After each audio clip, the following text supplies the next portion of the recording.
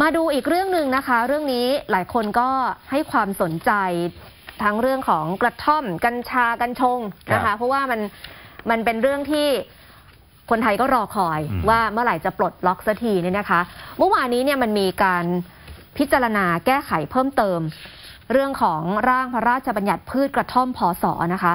คือกรณีเนี้ยสวเนี่ยเขาขอแก้ไขเพิ่มเติมเรื่องของการขายกระท่อม ครับ ว่า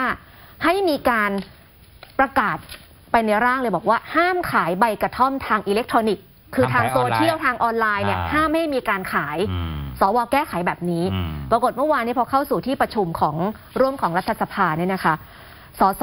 จำนวนหนึ่งเลยทีเดียวค่ะ ที่คัดค้านกับเรื่องนี้ ก็บอกว่าอ้าวก็ไหนบอกว่าต้องการจะปลดล็อกเพื่อให้ประชาชนเนี่ย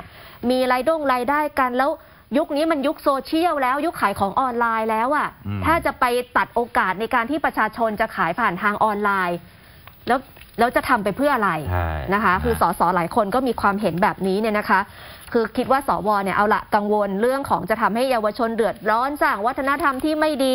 แต่ว่าการห้ามไม่ให้ขายทางออนไลน์เนี่ย มันอาจจะเป็นการตัดโอกาสของประชาชนก็ได้นะคะถ้าหากว่าเขาเห็นรายได้ตรงนี้เนี่ยนะคะ สุดท้ายแล้วเนี่ย